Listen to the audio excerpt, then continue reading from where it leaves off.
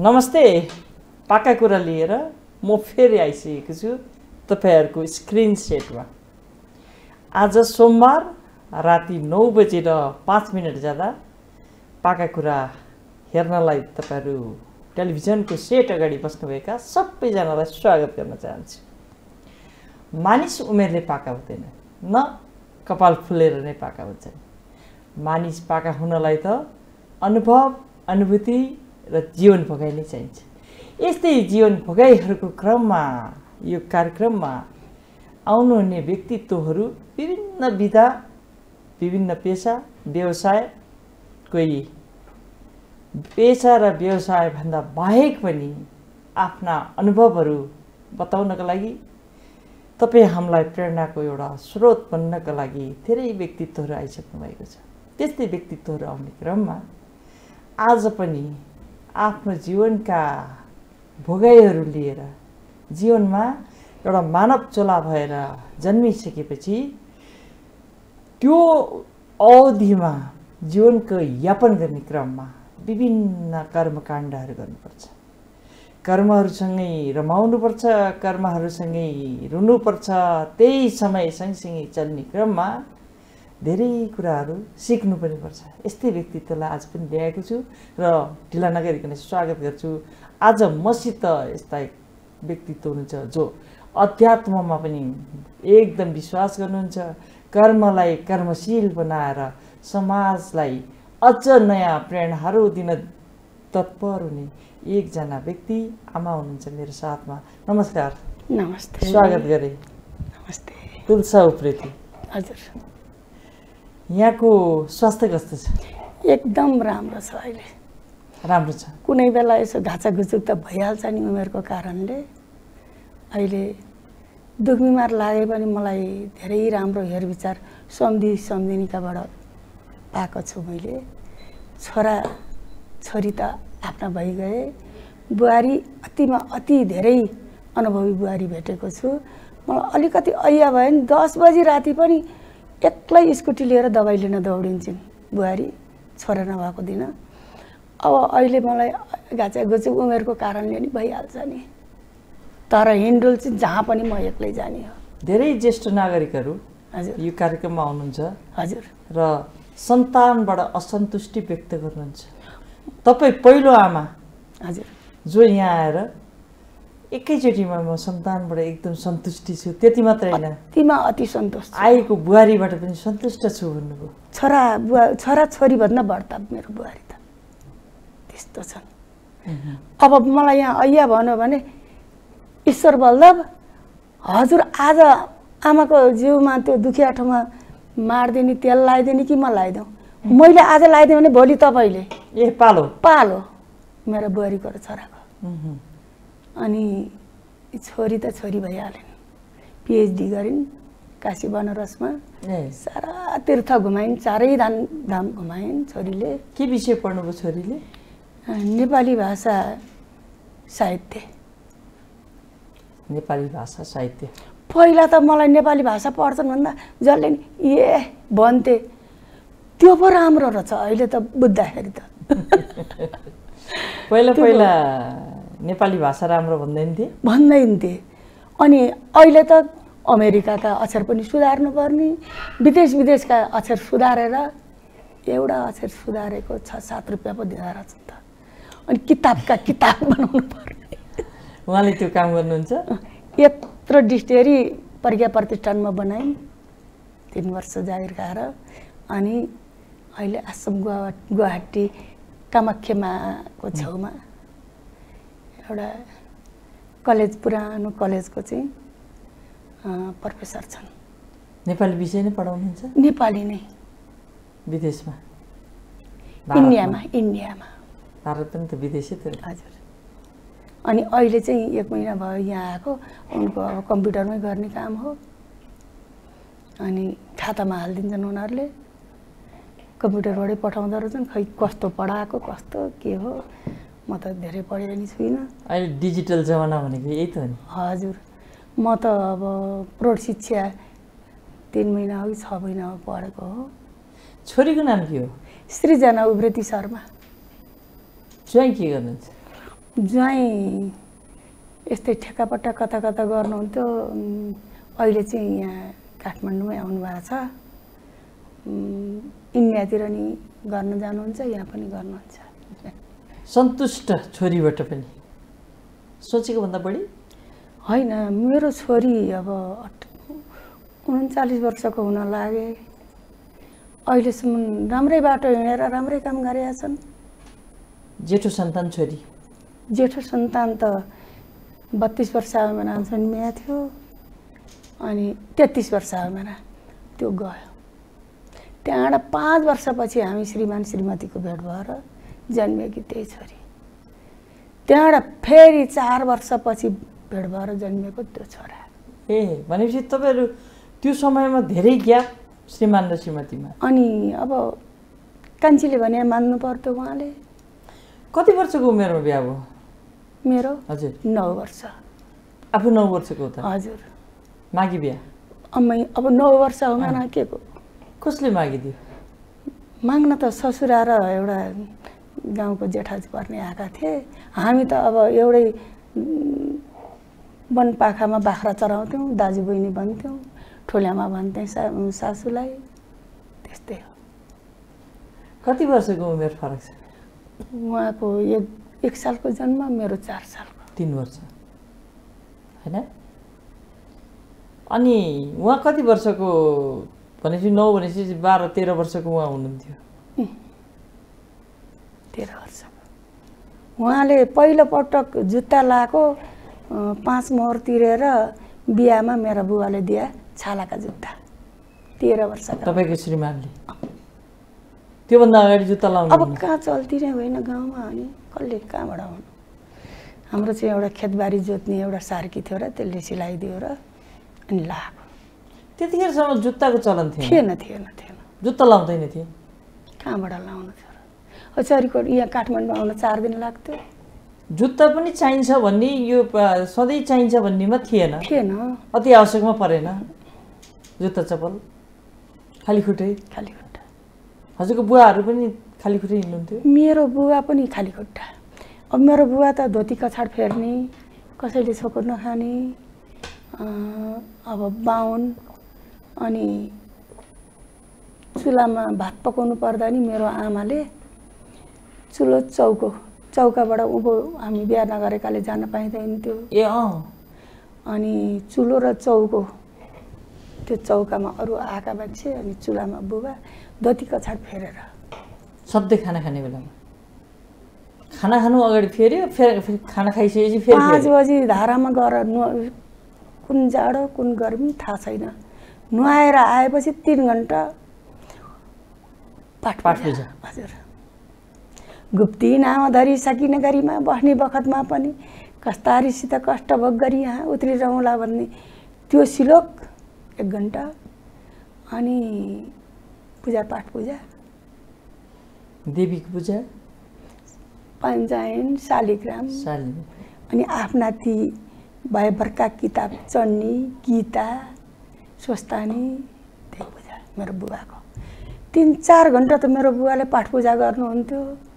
अनि बुबाका कहाँ बसेर चढ्ने दसैँमा अब मेरो त एक सय पाँचवटा कोठा गरे घर मेरो माइतीको। ओहो पुर्ख्यौरी घर. शिवाकोटी सबैको हिजो अघि आउने भाइको नि मावडी घर त्यही नै हो।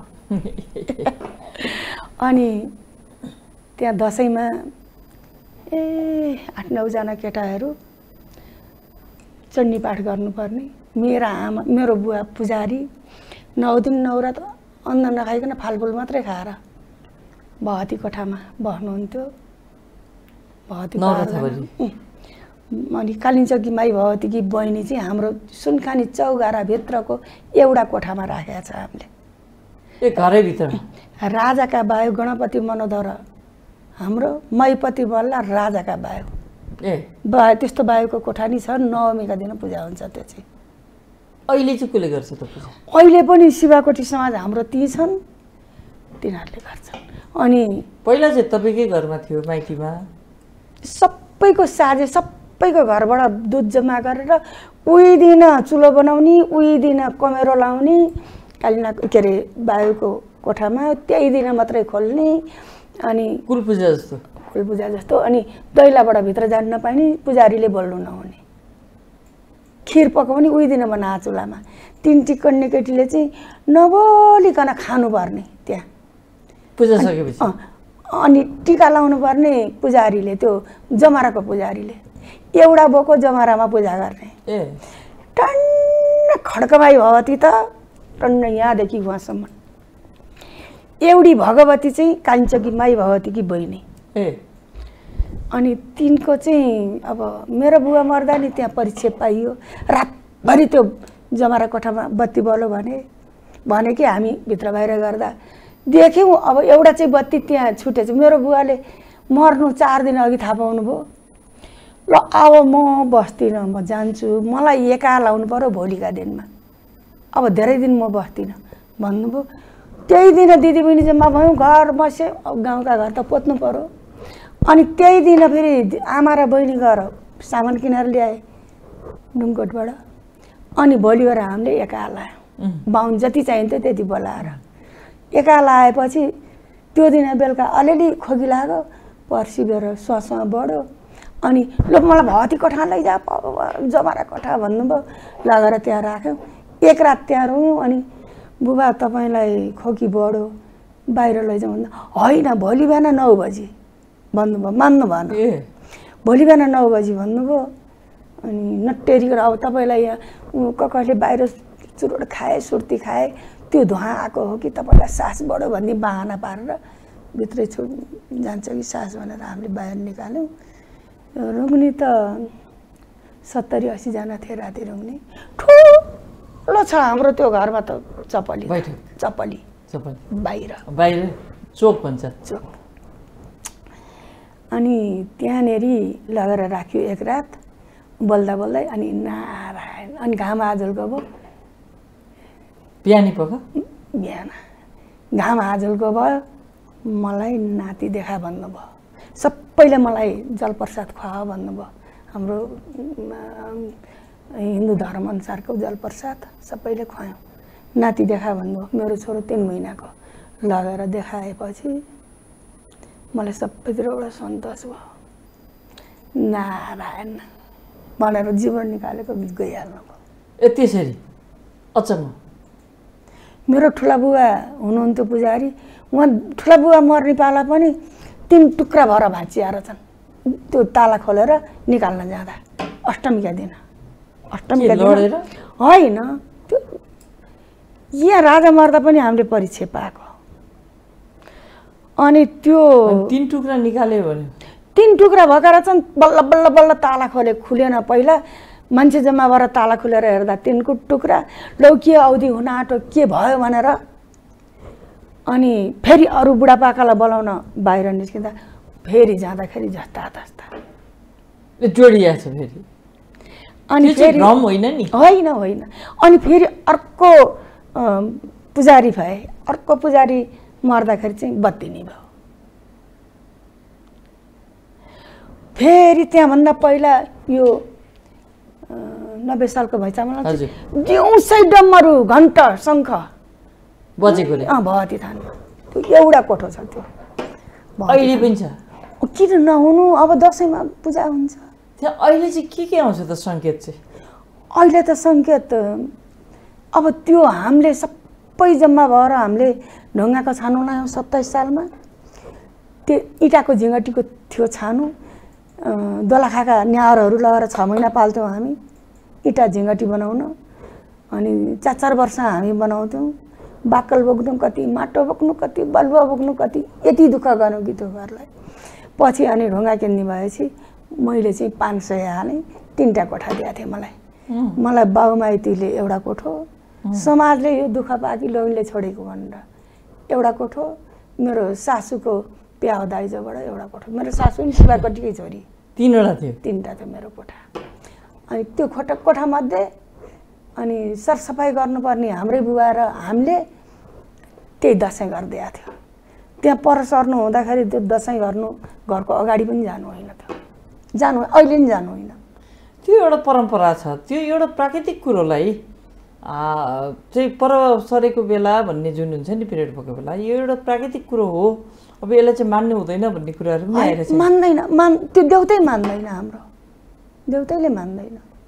नसहने अँ, नसहने एउटा अवधि भइहाल्छ त्यहाँ। अनि त्यहाँनिर त्यसरी बसियो। अनि पछि मेरो बुवा मर्दा त्यही हो सङ्केत।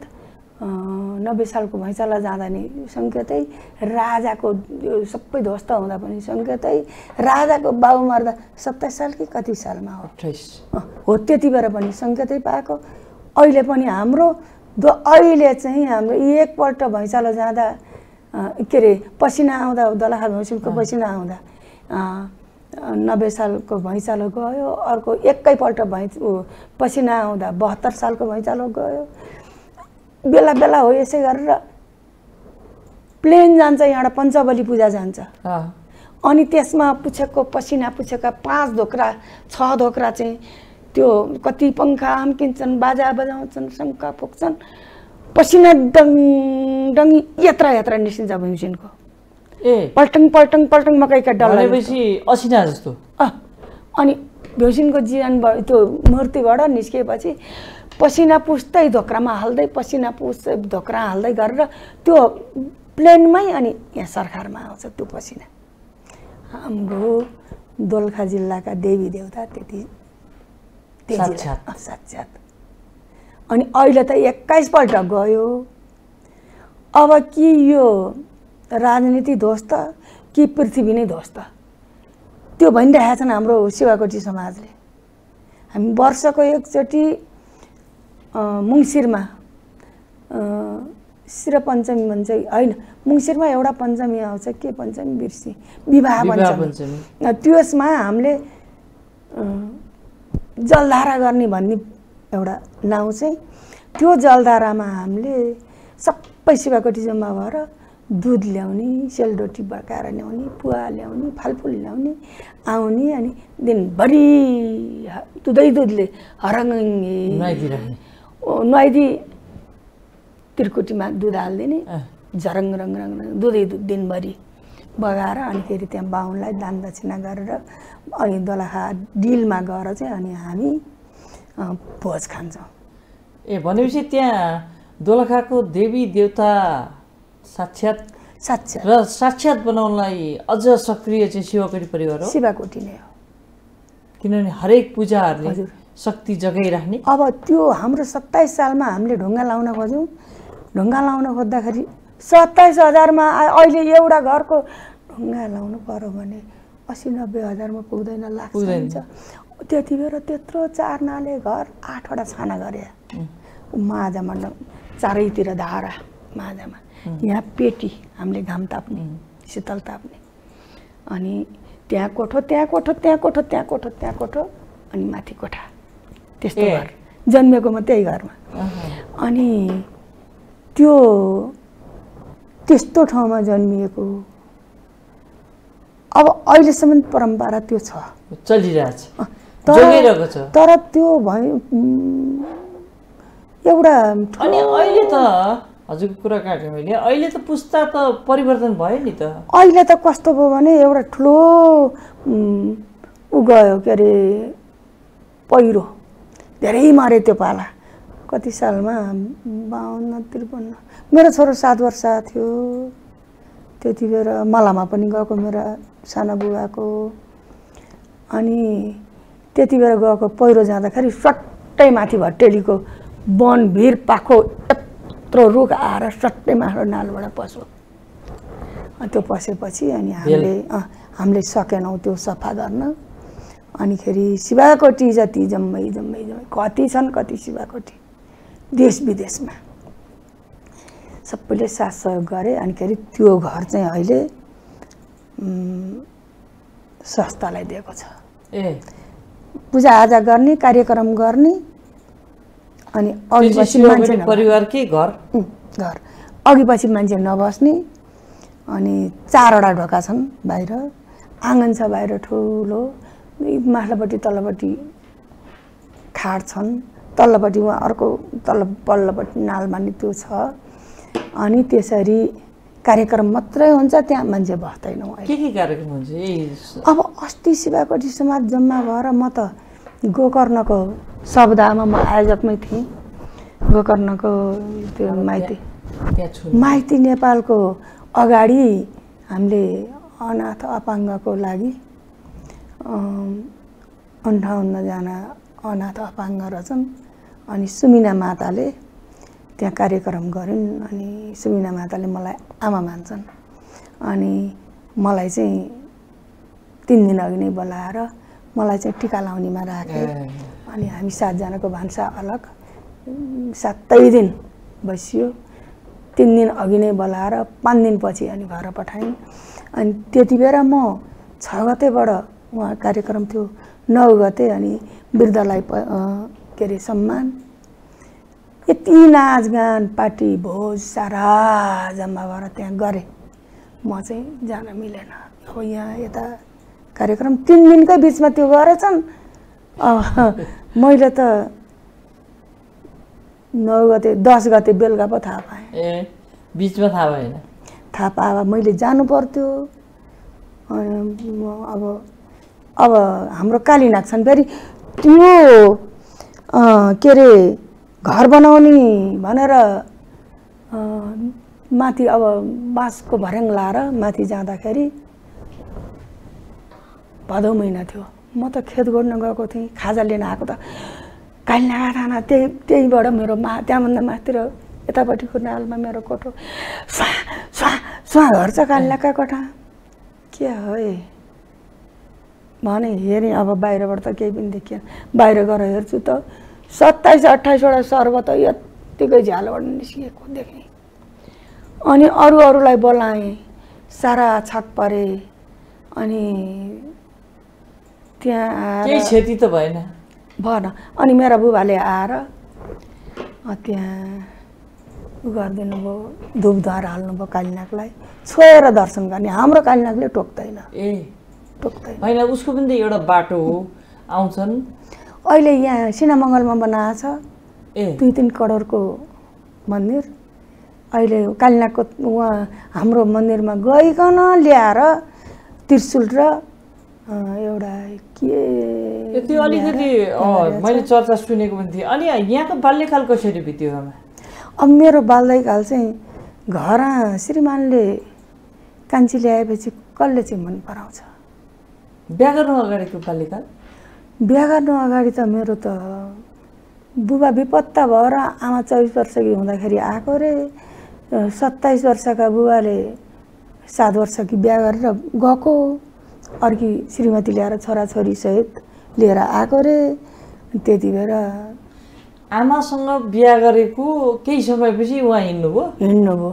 अनि आमा बाइस चौबिस वर्षकी भएपछि आउनुभयो बुबा। अनि म जन्मिहालेँ अनि मलाई त यो मेरो छोरीको घर गराउने भनेर मेरा मामाहरू अलि धनी मनी साह्रै माया गरेर छ सात वर्षसम्म पाले उनीहरूले? नजिकै अँ, नजिकैमा अलि घर पनि चिमरिए। राम्रै थियो त्यहाँबाट श्रीमानले त्यसरी आर्की ल्याएपछि त घरपट्टिबाट निहेला। अब आउने भाउजू कहाँ बस्ने श्रीमान? कमाएर ल्याएको भारी भाउजूलाई दिने। हाम्रा अंश जति जम्मै भाउजूलाई दिने। आफ्नै भाउजूलाई? उहाँको भाउजूलाई? अनि किन यस्तो गरे भने चाहिँ भाउजूको मैले सात सय मैले सिजारी तिरिदिएको छ मलाई भाउजूको माया छ तेरो भन्दा भन्ने। त्यस्तो। जेठानी? त्यस्तो भएपछि मैले अनि सहन सकिनँ। अनि अट्ठाइस उन्तिस वर्ष उमेरमा चाहिँ म मा के अरे मेरो जग्गा छुट्याइ पाऊँ भनेर दिएँ अब श्रीमान फर्केर नआउने। अनि भाउजूलाई सबै कुरो दिनु। भन्ने व्यक्तिले दाइ चाहिँ कहाँ हुनुहुन्थ्यो त? ताई त क्यान्सर निस्किएर थला पर्नु भएको थियो अनि मर्नुभयो जेठाजु अनि त्यसपछिको भाउजू? अनि भाउजूलाई अहिलेसम्म पनि ऊ भाउजूले कान्छी श्रीमतीको र आफ्नो अंश त त्यो बारी भाउजूलाई नै दिएको छ। मेरो चाहिँ चालिस सडचालिस वर्ष मुद्दा गरेर रोक्का गरेर मुद्दा गरेर अहिले सात वर्ष भयो। जग्गा फेरि कस्तो यो काठमाडौँकै जस्तो जग्गा दामी। भने जस्तै जग्गा पाउनुभयो? दामी जग्गा छ। अनि अहिले तपाईँको श्रीमान कहाँ हुनुहुन्छ? अहिले श्रीमान घरमा हुनुहुन्छ। अब अस्ति चाहिँ भन्नुहुन्थ्यो अरे छोरासँग। जहिले पनि तेरो आमालाई पेन्सन आमा भाग लिन त मात्रै आइज। मलाई तेरो आमालाई देख कि रिस उठ्छ। नले है भनेको छ बुवाले तपाईँ घरै बस्नुहोस् म तपाईँको भाग पैसा ल्याइदिन्छु भनेर जान्थेँ। उनको यहाँ दाजुको घर छ धुन्चे पाखा सानी माछा र दाजु बुहारीहरू छन्। जान्थ्यो अहिले त उहाँ त्यो जग्गाको लाल बुर्जा निकाल्न सकेनन् रे। छोरा तेरो आमालाई लिएर आइज भन्दै हुनुहुन्छ। मैले त्यति बेर नि ल तपाईँ हिँड्नुहोस् भन्दा के कुरामा मनमुटाव भएको थियो कि? त्यत्तिकै उहाँले कान्छी ल्याउने कस्तो के भयो? कान्छी ल्याएपछि त अर्कै भइहाल्दो रहेछ। होइन तपाईँहरू केही कुरामा मनमुटाव अब तेह्र वर्षको बुढी म छोडेर हिँड्दा। माइतीमै हुनुहुन्थ्यो? म घरमै थिएँ। अनि माइत हेला गर्न लाग्यो अर्को ल्याएपछि। ए अनि आफ्नै आमाजु- माइतीमा अँ, अनि आमाजुहरू भेट्न जाने सम्पत्ति कमाएको भाइले कमाएको ल्याउने बुहारी भाइ भेटेर आउने। त्यो भएपछि म हेला भएँ घरबाट। अनि अनि माइतैमा बुबा आमासँग। मेरा मा मावली पनि धनीमणी बुबा ठुला बुबाका छोरा दाई प्रधान पञ्च हुनुहुन्थ्यो त्यति बेला सबै धनीमणिको सन्तान। हिँडिस पहिलो भने खुट्टा काट्छु। भन्ने मात्रै थिए।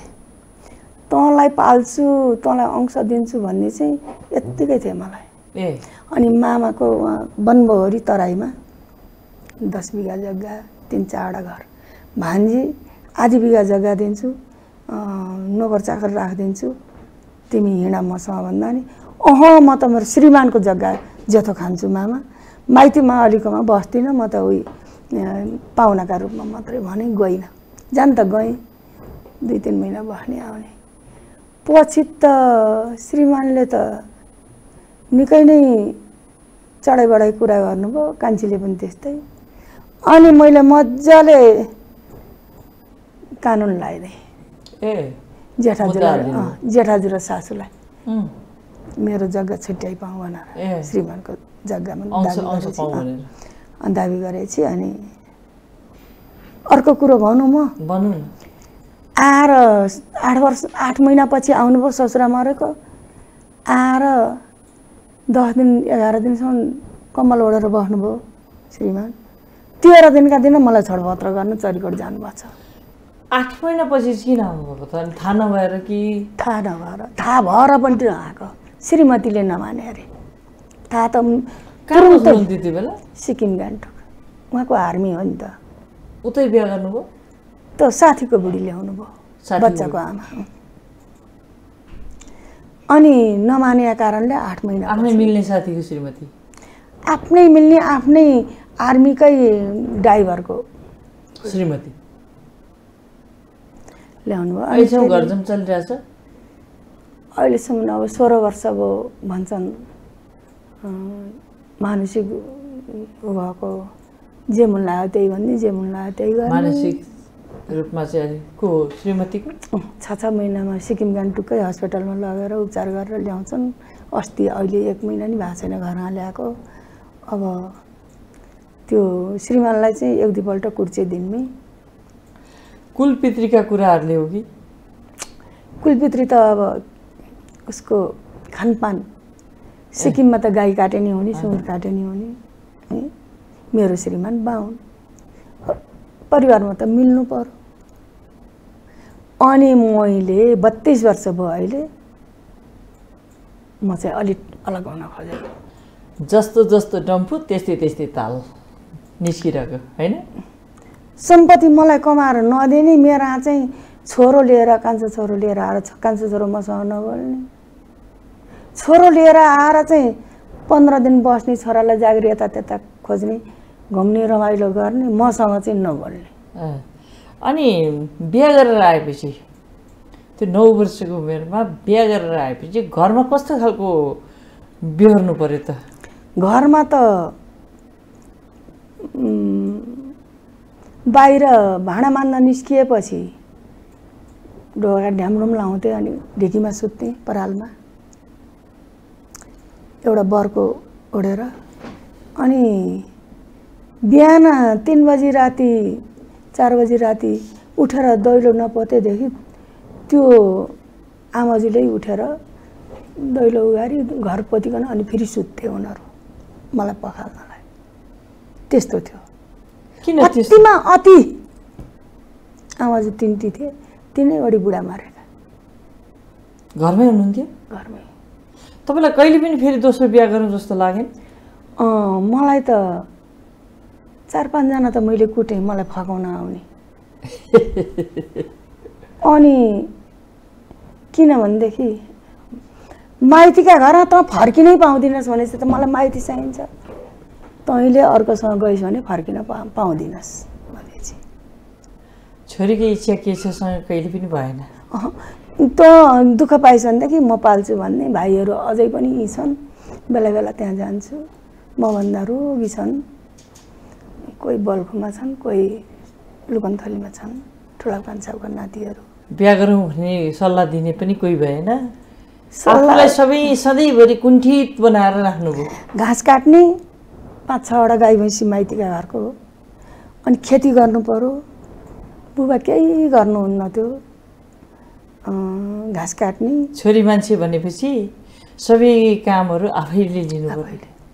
चाहे त्यो भाइले बिहा गरेर इन्डियातिर लिएर चाहे गइहाल्यो त्यो छोरी होस् या बुहारी होस्। अनि आमा बुवा त पाल्नु पऱ्यो त्यही आमा बुवा पालेर बसी बत्तिस वर्ष कि भएपछि अनि आउनुभयो। श्रीमान। त्यो तेह्र दिनका दिन गएर मलाई छोडपत्र दिनुभयो। महिना दिन नपुगी मलाई म्याद आयो। अनि माइतीहरूले भने छोड्नु हुँदैन यसलाई। योले छोडपत्र गर्यो गरोस् नि। हामी दिँदैनौँ भन्न।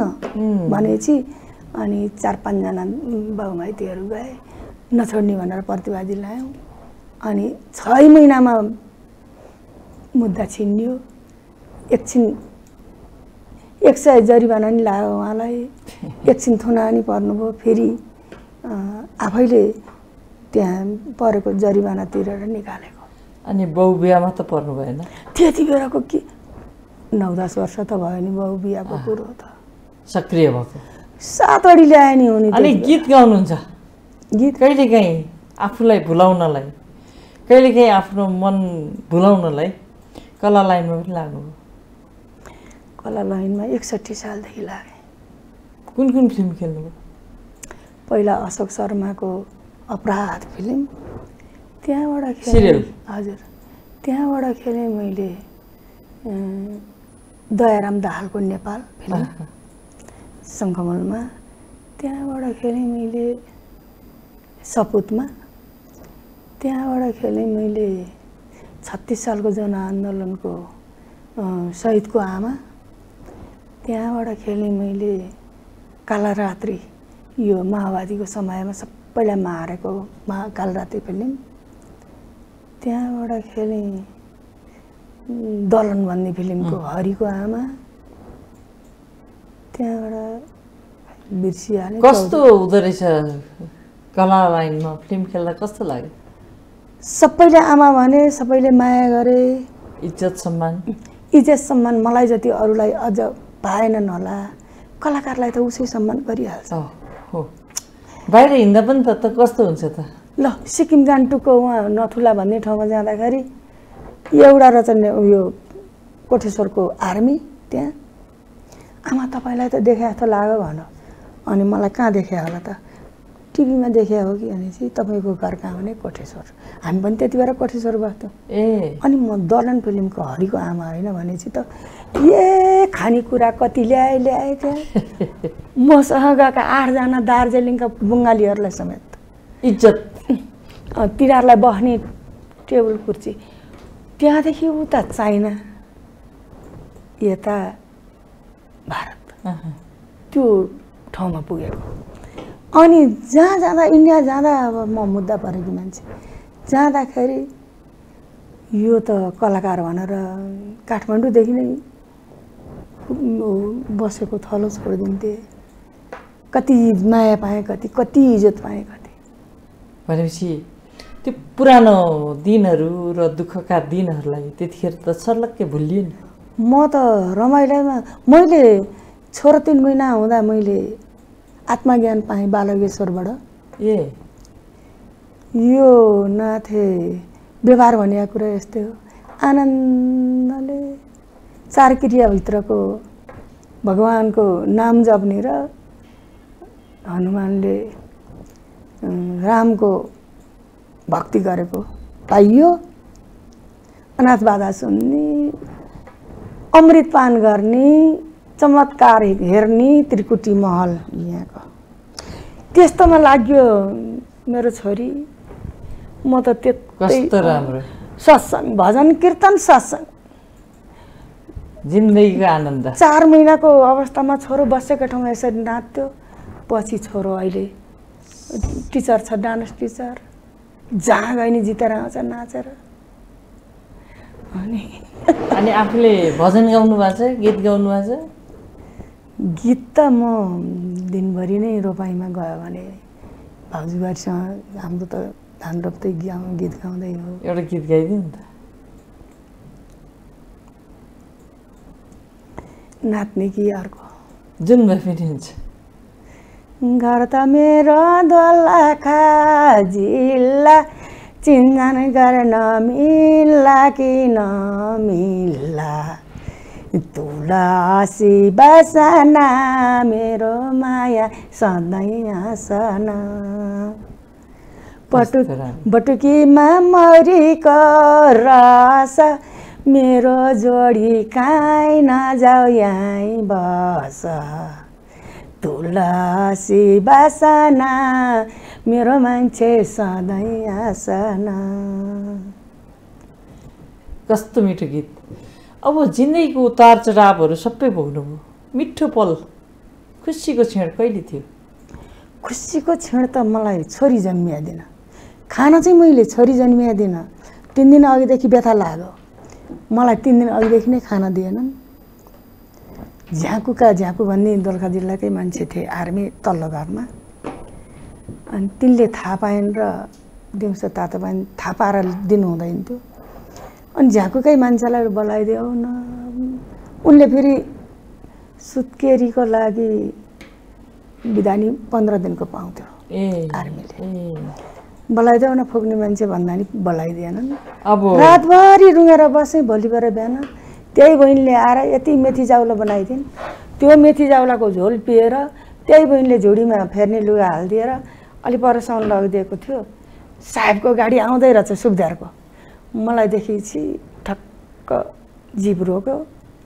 अनि देवी प्रसाद नहे भनेपछि म यसो फर्केर हेरेँ आउँदै रहेछन्। लगेर ढोकामा पुर्याउने बित्तिकै मेरो नानी जन्मिन आँटिहाल्यो।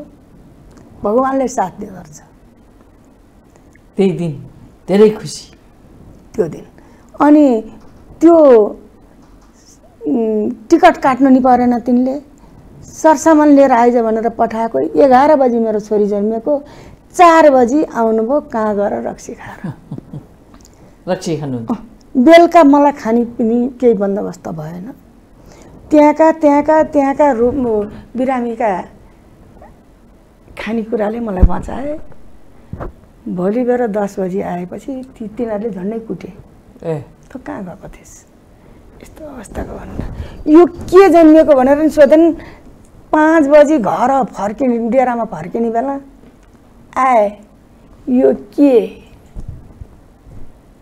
भगवान् साक्षी छन्। मैले यहाँ हात राखेर भन्छु। म ढाँट्दिनँ नि। आए यो के? भन्नुभयो छोरी भने। अनि जुरुक्क उठेर हिँडेको। मलाई एघार रुपियाँ पैसा खानेकुरो खानु। भनेर सिराना राखिदिनु भयो त्यही हो। त्यही हो। सुत्केरी खर्च अनि भोलि बेर चार बजी बेलुकाको चार बजी ओन्टेन भन्छन् त्यो शक्तिमान फौजीको उफार्ने गाडी। मलाई ल्याउन। मागे अब ट्याक्सी नै दिन्थ्यो नि साहेबले। हामी कार्यक्रमको अन्तिम अन्तिममा पुग्यौँ। समयभन्दा ठुलो अरू केही पनि हुँदैन। परिवार के जस्तो लाग्यो हजुरलाई परिवार त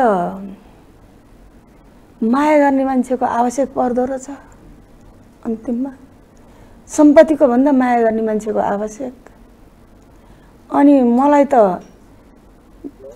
धान रोप्ने मौका आयो अब यो असार लाग्न आँट्यो। त्यो होरी गएको त्यो गीत गाएको झझल्का आउँदैछ के? म त एक्लै पनि यहाँ घरमा बस्दा रोपाई रोपा रोपा रे नानी रोपो ढल्केला बाउसेका छेउमा नजाओ रोपार झुम्रा सल्केला भनेपछि उताबाट उनीहरू हो हरि हो गर्दै पानी छाप्न आउने अनि हो हरि हुन्यौ यो कता झन्याउ बाउसेका आरीमा बाउसेको टाउको स्यालले लगो घैया बारीमा यस्ता यस्ता भनेर कस्तो राम्रो असारे गीत होइन अब छोराछोरी चाहिँ के जस्तो लाग्यो त आमा छोराछोरी त चौतार हो आफ्नो जाने बेला धरतीबाट अब धाममा त जानुपर्छ हामीले पर्छ त्यो त जाने भनेरै धाममा जाने बेला को हो को हो नचिने मान्छेहरू त्यहाँ छ खा भन्नुभन्दा आफ्नालाई केही न केही माया पनि हुन्छ सर्लक्क जिम्मा जिम्मा लाएर जाने शान्ति त्यति नै हो। साथीभाइ के जस्तो लाग्यो? साथीभाइ त दुःखकै साथी हो। दुःख पर्दाखेरि साथ सहयोग दिने। त्यो साथी हो। रुख चढाएर फेरि डाल्ने फेरि त्यो शत्रु सेभेन स्टार फोकेट टेलिभिजनसम्म आएर आफ्नो कुरा राखिदिनु भएकोमा धेरै धेरै धन्यवाद। सुस्वास्थ्यको कामना। हजुरको पनि सुस्वास्थ्यको कामना।